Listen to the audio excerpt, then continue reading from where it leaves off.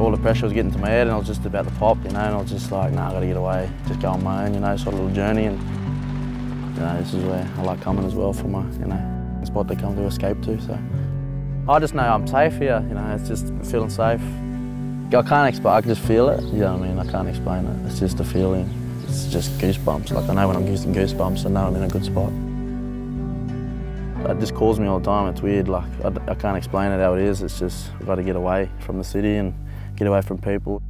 It's good because I get to switch off. You know, mentally. Obviously, um, you know, the boys went to LA and I really I was really keen, but just with the, everything going on in the media and all that, I just sort of thought if I go over there, you know, they're looking for another story, and I thought if I can get away and not, you know, be in anywhere in anyone's hindsight and be able to do what I want to do and um, walk down the street without getting, you know, talked to and. Um, that's why I really enjoy coming out here and just you know being away from everyone. In my head was going to pop because everyone just wanted to. Everyone, like not even the people that was talking bad about it, they just wanted to know what was going on. Oh, where are you going, bro? Where are you going? Where are you going, cuz? What team are you looking at? Who's saying this? I was like, I was like, nah, I need to go. You know, I literally, I was just feeling that much pressure in my head. And as soon as I got it, I just went.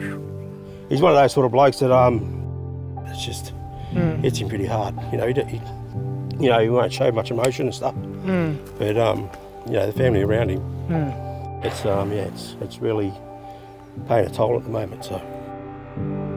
And where do you feel like you're at at the moment? How are you feeling with with everything that's happening? Like with everything in the media and uh, yeah, I look, it's it's all speculation. Eh? Everyone wants to know.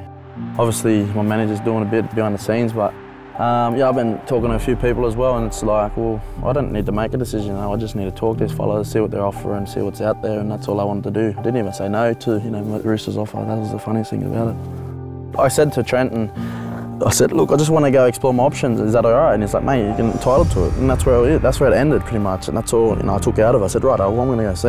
And then I went to the pub that, that day. You know, I have a beer and that here and there, and then say, ah, oh, Roosters pull out a you know, the to deal, and I was just like, well, that's a kick in the teeth. What's your relationship like at the moment with Trent and Nick?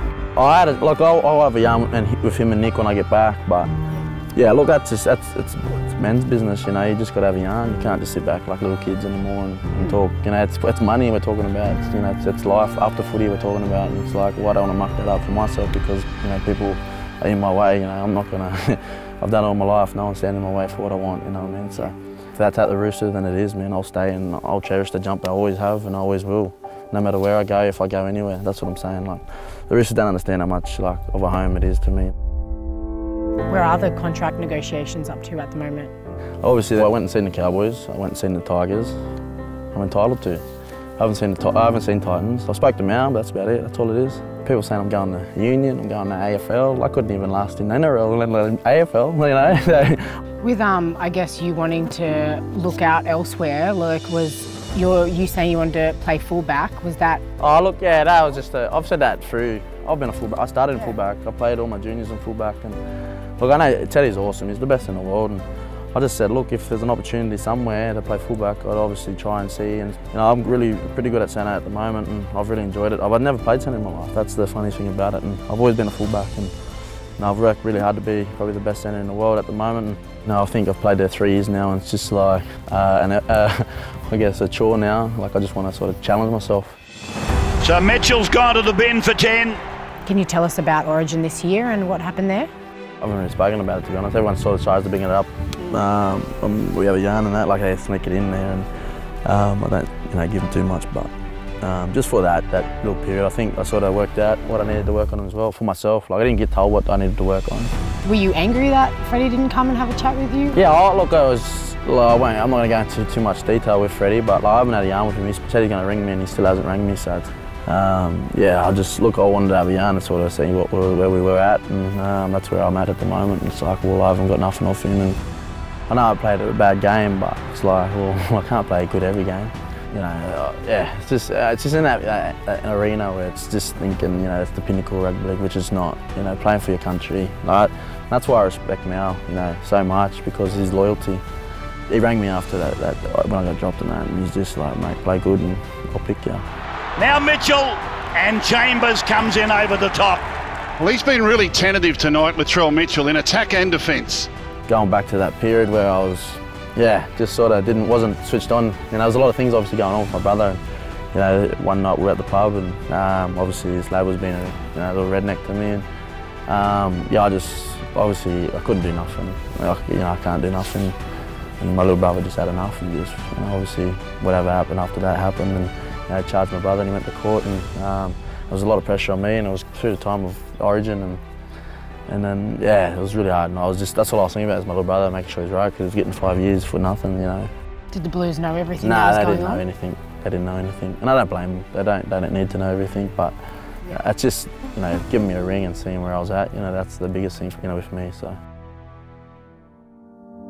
Do you feel like there's enough cultural consideration around our, for our players? I think since me and Cody come and Foxy stood out for what we believed in, it was sort of like everyone went funny on us. Do you know what I mean? Well, a lad in Scotland wrote this song 60 years ago, and he expect us to sing it. Like, I don't, I don't believe I need to. You know what I mean? You know, yeah. I just think for me and Cody, we're not going to stop doing what we're doing. So I think people love in our culture. Our people love seeing what we're doing. So it makes me proud. You know, obviously to be a leader. We're leading the way for the younger generations to stop taking this stuff. You know, to stand up for what they believe and not hiding. And as soon as you, you stand up for yourself, I guarantee you, the people that's been racist here stop straight away.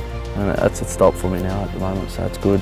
Away now for Latrell out of car. He's going to go back to back. There's a lot of things, you know, a long way to go, you know, for our culture to be even recognised as equal. Yeah, it's going to take a few more generations before it's even considered a thought.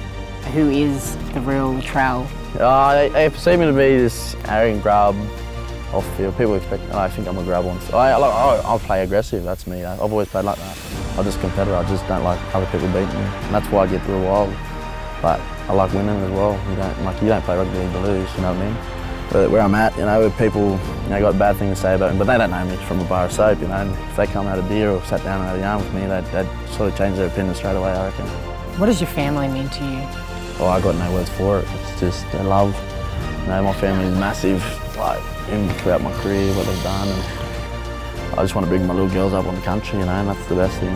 Um, you know, that's why I'm trying to set up what I've got to set up now. And it's like, it's the little things you do. Like, farmers help farmers, you know. I'm, I'm, I want to be a farmer, that's where I'm starting now. That's why I come here and do what I got to do and learn as much as I can.